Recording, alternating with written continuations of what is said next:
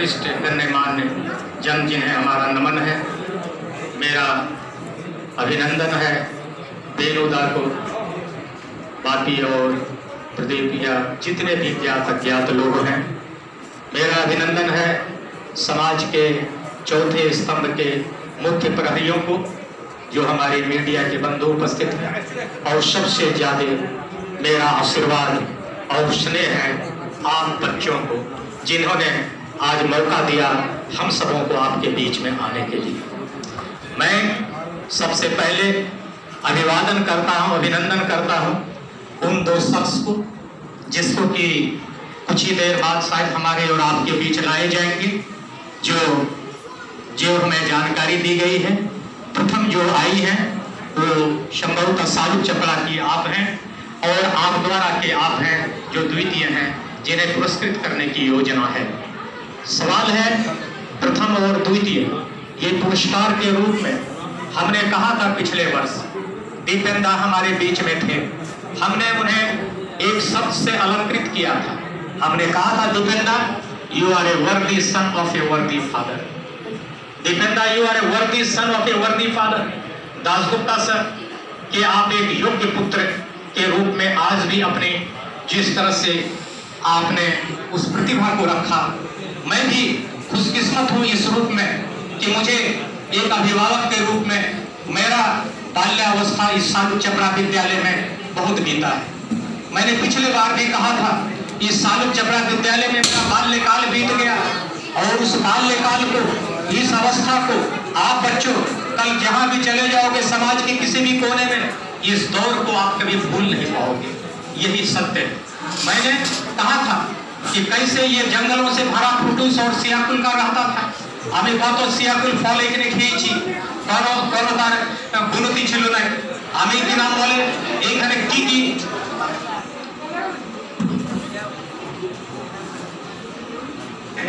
मेरे कहने का तात्पर्य है कि भावनात्मक रूप से मैं सालू चपड़ा में मेरा बाल्यावस्था क्यों बीता?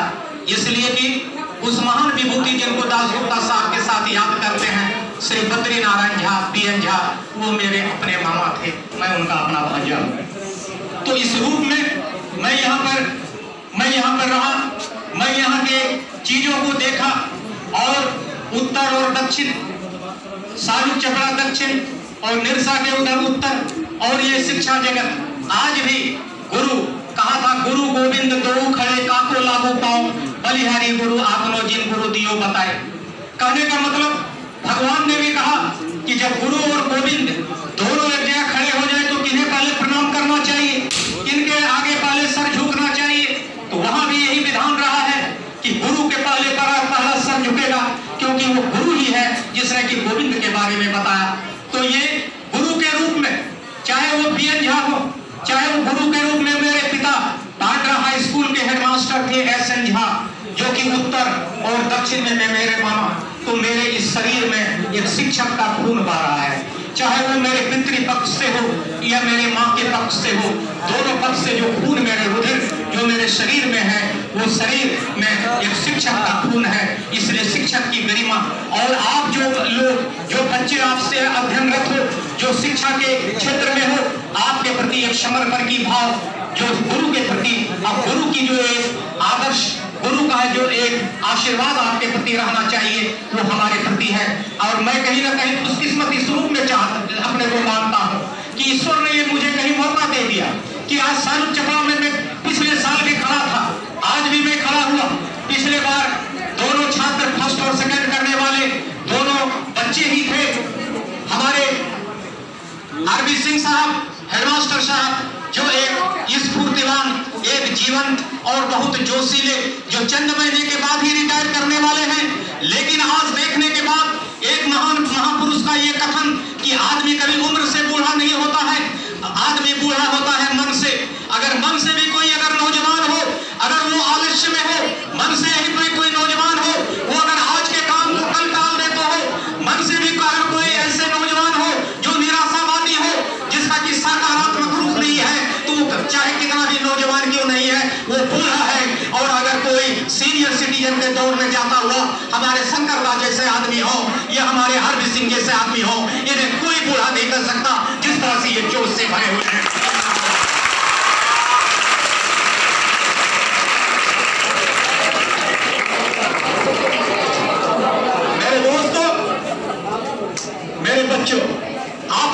करके मैं कुछ कहना चाहूँगा। आपसे मैं पूछना चाहूँगा। आपने उल्मा रुडल्फ का नाम सुना है? उल्मा रुडल्फ का आपने नाम सुना है? नहीं सुना है। कुछ ने सुना भी होगा। उल्मा रुडल्फ अमेरिका की एक ऐसी विकलांग थी जो पोलियोग्रस्त थी, जिसे बाल्यावस्था से पोलियो था। लेकिन उसे बचपन से ही उसके मन में एक जज्बात था कि मैं एक तेज धाविका बनूं मैं एक रनर बनूं लेकिन जब डॉक्टर के पास लेकर उसकी माँ गई थी तो डॉक्टर ने कहा कि ये पोलियोग्रस्त है। इसे ये बैसाखी चाहिए, इसके सहारे ये चल लेगी। रोडोल्फ ने पूछा था डॉक्टर से, कहा था, डॉक्टर साहब, क्या मैं दौड़ सकूँगी? डॉक्टर ने कहा था, बेटा, तुम चल लो ये बहुत कुछ है। बाकी कुछ अपने सपने को कुछ और दूसरा सपना देखना शुरू कर दो। सपने को बदल लो तुम। लौट कर आई थी माँ के साथ घर। रोते हुए माँ से पूछी थी उल्मा रुडोल्फ ने पूछा था कि क्या मैं दौड़ पाऊँगी? माँ ने कहा था, एक माँ, चाहे मैं हो, चाहे आप हो, चाहे कोई भी हो, एक माँ ने जब हमें जन्म दिया, नौ साल में जिस गर्भ में रखा। माँ अपने बच्चे को जितना जान सकती है, दूसरा कोई जान सकता है वो भगवान ही जान सकता है। इसलिए उस बात को इसलिए माँ ने कहा था कि बेटी तुम दौड़ोगी केवल दौड़ोगी नहीं तुमने तुम दौड़ में नाम कमाओगी अब रुलमा रुडोल्फ उल्मा रुडोल्फ के पास दो ही विकल्प था। एक तो या तो वो अपने माँ की बात को याद करती उसको सत्य मानती या नहीं तो दूसरे डॉक्टर की बात को सत्य मानती उल्मा रुडोल्फ ने अपनी माँ के बात को माना और उसके विद्यालय में इसी तरह का कोई विद्यालय सालू चपड़ा के ऐसा रहा होगा, जहाँ पर वो एक कोई आयोजन था। उस आयोजन में दौड़ का आयोजन था तो उसमें उसने भी भाग ले लिया। भाग ले लिया, दौड़ में भले वो लास्ट में थी लेकिन विधाता कहता है कि कर खुद ही को बुलंद इतना कि खुदा पूछे तेरी रजा क्या है।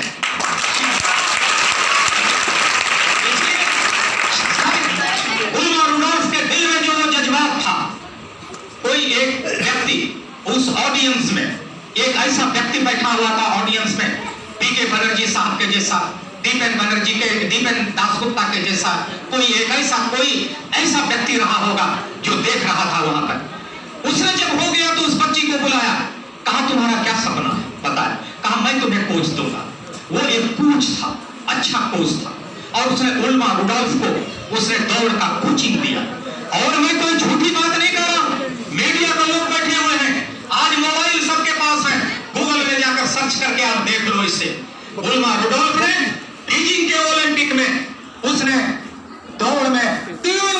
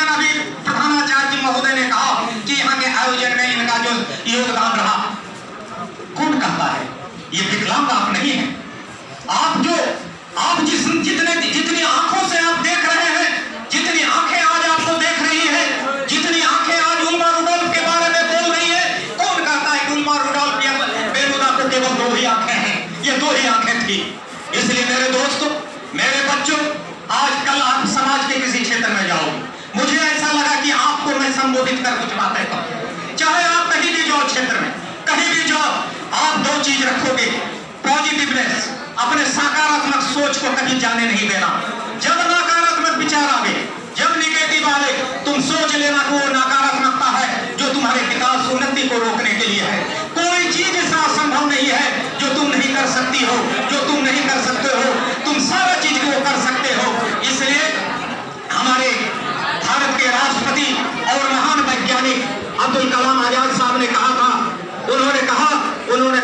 सपने वो देखो जो बड़े हो सपने कभी छोटे मत देखो। इसलिए मैं भी आपसे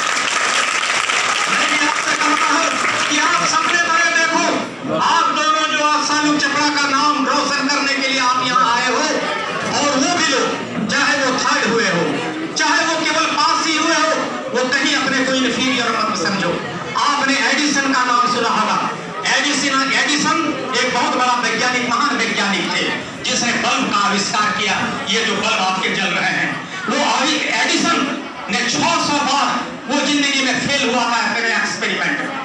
600 बार वो एक्सपेरिमेंट में फेल हुआ और जब उसे लोग कहते थे कि अब तुम अपना छोड़ दो, क्यों कहते थे? तो उन्होंने वो बोलते थे कि अब मैं सफलता के बहुत करीब पहुँच गया हूँ कि क्योंकि 600 बार जब मैं फेल हुआ हूँ तो मैं ये समझ रहा हूँ कि सफलता आप कितने नज़दीक है। इसलिए अगर फ़र्स्ट सेकंड आप जहाँ पर हुए हो आपके सामने ये चौनो, चुनौती है कि आज आपने सर्व चक्रा का नाम याद रोशन किया है। कल भारत के किसी कोने में कहीं पर आकर रोशन करो तो ये मंच कल अपने को गौरवान्वित अनुभव करेगा, ये सर्व चक्रा अनुभव करेगा कि कहीं ना कहीं आप, हमने एक ऐसे बच्चे को पुरस्कृत किया था, जिसमें कि सारी प्रतिभा छिपी हुई है, और चाहे कोई पास ही क्यों ना किया हो, वो एडिसन की उस बात को याद रखे एडिसन की उस बात को याद रखे कि फेल करना कभी कहीं ज़िंदगी में फेल कर जाना नहीं होता है। सपना अगर तुम देखना छोड़ देते हो, सपने को अगर तुम देखना छोड़ देते हो, अगर तुम उसके तरफ़ कर्म करना छोड़ देते हो, तभी तुम फेल करते हो। नहीं तो तुम फेल नहीं हो। और इसी कुछ ही महीने बाद रिटायर करेंगे। बेनुदा और सालुक चक्रा और के तमाम विशिष्टगण और आप हमारे पी के बनर्जी साहब शंकर दा जिस तरह से इन्होंने एक शुरुआत और एक बहुत निस्वार्थ रूप से काम कर रहे हैं, हम ये चाहेंगे कि आप लोग अगर कल की तारीख में एक रणनीति तय करके, फिर इनके जनवरी के बाद रिटायरमेंट के बाद, अगले साल इसी तरह के मंच पर इन्हें हम लोग बुला बुलावे और पुरस्कृत करें। ऐसी ही बातों पर अगर हम लोग कल सोचें तो हमको लगता है कि एक अच्छा एक अच्छा पहल होगा। एक अच्छी ये आप लोग निर्णय लें। और मैं यही कहता हूँ कि मैं गलती से हो, सही से हो, कहीं ना कहीं आदमी में कुछ होती है, मैं भी राजनीति के क्षेत्र में आ गया। मेरा जन्म पोदायडी में हुआ। मैंने बताया कि पांड्रा हाई स्कूल में मेरे पिता हेडमास्टर थे और वहाँ से मेरा जन्म हुआ। मैं ईसीएल में नौकरी में रिटायर कर गया और गलती से सौभाग्यवश या किसी वश मैं राजनीति के क्षेत्र में भी चला गया और राजनीति में मैं कांग्रेस पार्टी में, मैं प्रदेश में हूँ। लेकिन मैं एक बात को मानता हूँ, कोई व्यक्ति खराब नहीं होता, कोई दल खराब नहीं होता, कोई तत्व खराब नहीं होता। खराब वो होता है जो अपने रूप में एक जो स्थापित स्थापित जो मूल्य है समाज की, उसके खिलाफ जो बात करता है, चाहे वो कोई भी रहे, वो गलत होता है। कोई दल और कोई पार्टी नहीं होता है। इन्हीं बातों के साथ मैंने एक समाज में भी जाना शुरू किया और पिछले साल था, मुझे जानकारी मिली कि इस विद्यालय में फ़ैन की चोरी हो गई क्लास में से फ़ैन चोरी हो गई। ये क्या होता है? कैसे होता है? ये विद्यालय जहाँ पर कि तीन का चदरा था कभी बिछा हुआ जब हम रहते थे, आज इतना अच्छा प्रांगण बन गया, कंप्यूटर की चोरी हो गई, वो चोरी करने वाला कहीं ना कहीं से, कहीं ना कहीं से इसी समाज का रहा होगा। उसके भी बच्चे, उसके भी परिवार से कहीं ना कहीं से यहाँ आकर कोई ना कोई शिक्षा अध्ययन कर रहे होंगे। हो सकता है वो अज्ञानता, हो सकता है आज का ये माहौल, हो सकता है, कहता है कि शब्द ब्रह्म होता है शब्द कभी नहीं मरता। तो हो सकता है ये मेरी शब्द, ये मेरी वाणी कहीं ना कहीं उस रूप तक पहुँचे कि और वो हृदय परिवर्तन हो। और मैंने सोचा, एक छोटा सा प्रयास क्यों ना करूँ? छोटा सा प्रयास क्या? रॉक फेलर रॉक फेलर एक बहुत बड़े थे। रॉक फेलर का नाम तो आप लोगों ने सुना होगा। रॉक फेलर से एक बार स्वामी विवेकानंद की मुलाकात हो गई। स्वामी विवेकानंद ने रॉक फेलर को कहा, इतने जन, इतने धन, इतने सब कुछ तुम करके क्या करोगे? तुम कुछ ऐसा करो कि तुम्हारे जाने के बाद भी कल तुम्हारी यश और कीर्ति सब कुछ इस संसार में रह जाए। तुम इसके लायक कुछ काम करो। बहुत वर्ष बीत गए। उसके बाद रॉक फेलर ने फाउंडेशन बनाया। रॉक फेलर फाउंडेशन जिसमें छह क्षेत्रों के लोगों को वहाँ पर ये करने की पुरस्कृत करने की बात हुई। कुछ दिनों के बाद रॉकफेलर स्वामी विवेकानंद से मिले और स्वामी जी को कहा रॉकफेलर ने कि आप मुझे धन्यवाद दीजिए कि आपकी बातों को मैंने मान लिया। स्वामी जी ने कहा कि तुम मुझे धन्यवाद दो कि तुम्हें मैंने जीने का ढंग सिखला दिया। तुम्हें मैंने जीने का नज़रिया दिया छोटा सा ही प्रयास क्यों ना हो? जब राम सेतु बन रहा था लंका जाने के लिए बहुत लोग बहुत कुछ कर रहे थे। तो गिलहरी जिसको कि अंग्रेज़ी में स्क्विरल कहते हैं गिलहरी बांग्ला से की बोली जाना? काट बेड़ा ले। काट बेड़ा ले हाँ, तो वो गिलहरी वो भी कर रहा था वो बालू का रेत का कुछ कल ले ले ले, ले जाकर वहाँ पर वो दे रहा था। वो भी अपना कर रहा था कि मैं भी समुद्र में अपना बालू के रेत को दे रहा हूँ। जब हनुमान जी उधर से जीत कर आए और सबकी हो रही थी। तो भगवान राम जी ने गिलहरी को बड़े प्यार से उसके शरीर पर प्यार के तीन उंगली दिए थे, जो आज भी उसके गिलहरी स्कुरल के शरीर पर तीन उंगली तुम लोग देख रहे होगे। और उसको कहा जाता है कि वो राम जी के उंगली का शरीर है, जो राम जी ने उस गिलहरी को आशीर्वाद के तौर पर दिया था, जो वो रेत का कन दे रहा था। मैंने समझा कि बहुत कुछ रॉक फेलर नहीं बन सकता हूँ। मैंने समझा कि मैं क्या, मैं मैं, वो मैं वो नोबल एल्फ्रेड नोबल नहीं बन सकता हूँ। मैंने समझा क्यों नहीं मैं गिलहरी बनूं और गिलहरी के रूप में वो काम करूँ। और मैंने प्रधानाचार्य को और लोगों को कहा कि मैं छोटा सा योगदान होगा। जिन कमरों से फ़ैन की चोरी हुई है, वहाँ मैं फ़ैन सीलिंग फ़ैन अपने तरफ़ से दूँगा। मैं गाड़ी पर लेकर आया हूँ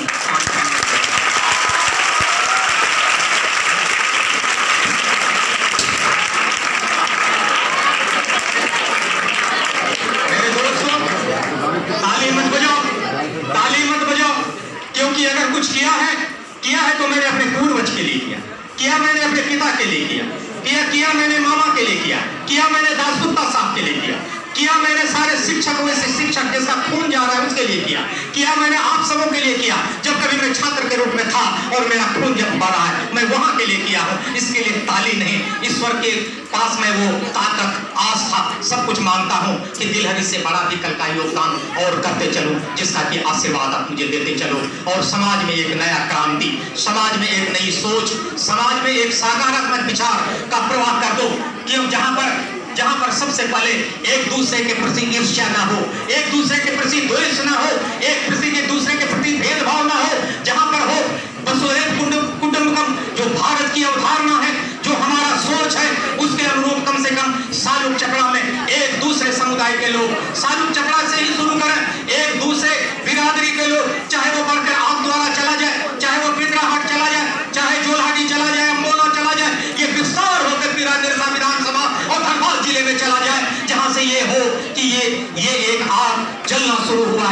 की आग, जिस शिक्षा की आग में इसको एक प्रज्वलित करने के लिए एक शिक्षक आर के सिंह साहब ने जो एक पहल की है, निश्चित तरह से कोई ना कोई पहल करने वाला चाहिए।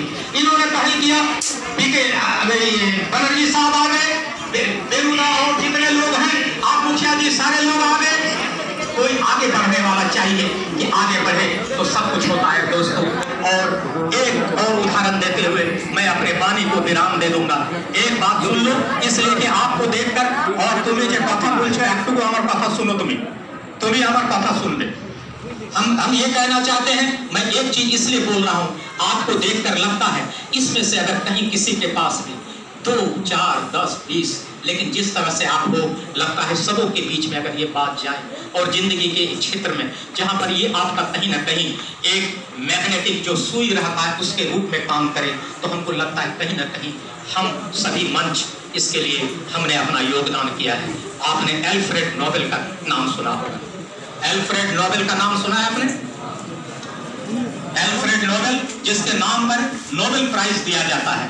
और दुनिया का बड़ा से बड़ा आदमी, चाहे कितना भी बड़ा क्यों ना हो गया हो, उसकी दिली तमन्ना रहती है कि अगर हमको नोबेल प्राइज मिल गया तो हमारा जीवन धन्य हो गया। एल्फ्रेड नोबेल के बारे में बताता हूँ। एल्फ्रेड नोबेल ने भी 300 एक्सपेरिमेंट किए थे लाइफ में। और उसने लास्ट जो एक्सपेरिमेंट किया था, वो था कि उसने डिनामाइट डिनामाइट बनाया था। डिनामाइट बनाया था, जो डिनामाइट आज आप कहीं ना कहीं नाम सुनते होंगे। तो डिनामाइट जब बनाया, उस समय का दौर था। युद्ध में उसका प्रयोग होता था और उसका नकारात्मक भी प्रयोग बहुत ज़्यादा होता था। वो नकारात्मक प्रयोग एक दिन एल्फ्रेड नोबेल नाम का, जैसे मैं सुधांशु मैं क्या हूँ, हो सकता है सुधांशु नाम का कोई दूसरा, तीसरा, चौथा व्यक्ति भी क्यों नहीं हो सकता हो ही सकता है। वो एल्फ्रेड नोबेल नाम का एक व्यक्ति मारा गया मर गया पेपर में निकला एल्फ्रेड नोबेल मारा गया मर गया प्रतिक्रियाएँ आने लगी कुछ प्रतिक्रियाएँ आई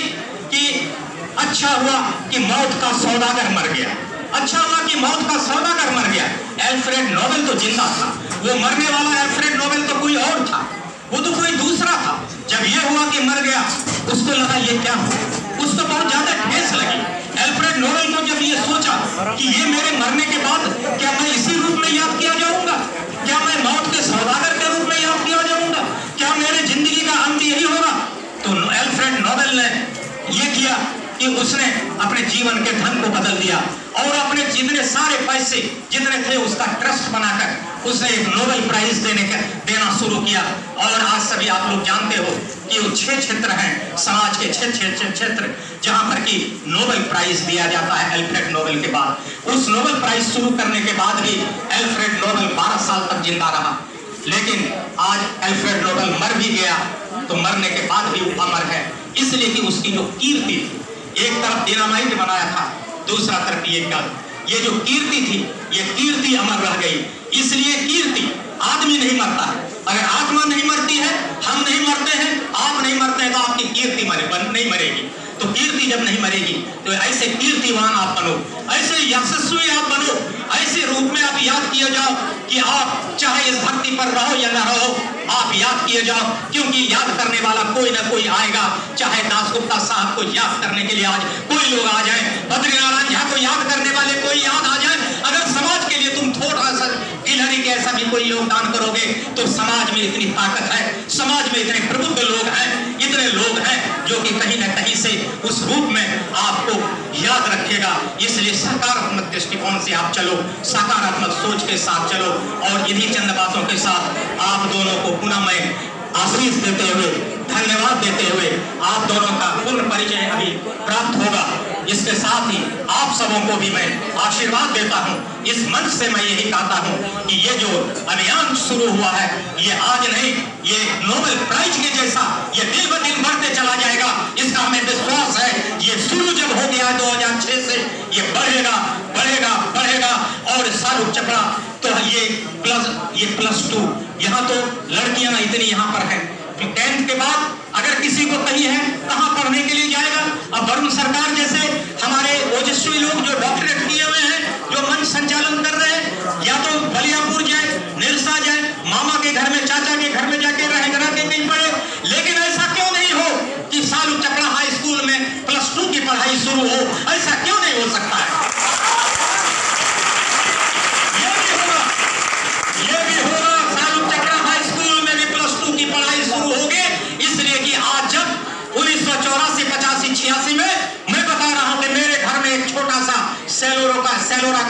था।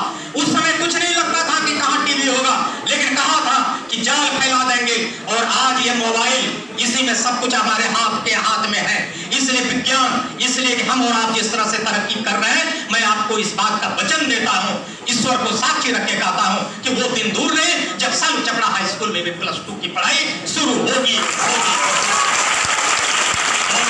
इन्हीं चंद बातों के साथ इन्हीं चंद चीज़ों के साथ आप सबों को क्यों ना मैं अपना आशीर्वाद देते हुए और आप सभी बुज़ुर्ग जन को, आप पी के बनर्जी साहब शंकर दास साहब, जिनसे पिछले साल भी मिलने का मुझे सौभाग्य प्राप्त हो आप लोग अभी बैठे हुए हैं देव बाबू पांडे बाबू जो अभी बातें हो रही थी, मैं नहीं बता सकता कि किस तरह से कहाँ अंतरंगता को छू रही कहाँ कैसे क्या लग रही है।